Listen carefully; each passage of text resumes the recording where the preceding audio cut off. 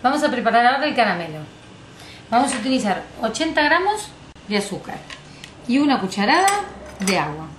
Y lo voy a colocar en el microondas. Vamos a poner un poquito más, una cucharada y media.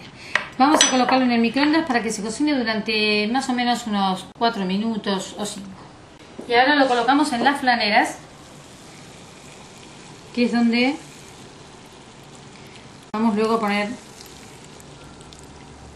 los flancitos.